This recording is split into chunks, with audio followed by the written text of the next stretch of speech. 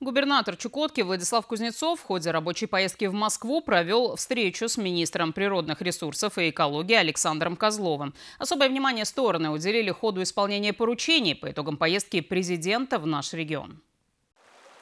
Речь, в частности, шла о выделении финансирования в рамках программы геологоразведки Дальневосточного федерального округа. Как пояснил глава региона, сейчас на Чукотке определено 16 перспективных участков, где можно провести геологоразведочные работы. На разведку необходимо 6 миллиардов 300 миллионов рублей. Александр Козлов подчеркнул, что Чукотка находится в приоритете по геологоразведке и федеральное финансирование на поиск полезных ископаемых будет выделено. Кроме этого, обсуждался вопрос по увеличению числа площадок для добычи песка на Чукотке, которые не необходим в строительстве. Также в ходе встречи удалось заручиться поддержкой Министерства природных ресурсов и экологии по проведению конференции «Вселенная белого медведя» в 2025 году. Одной из задач этой конференции является организация безопасного соседства животных и человека, а также сохранение популяции белых медведей.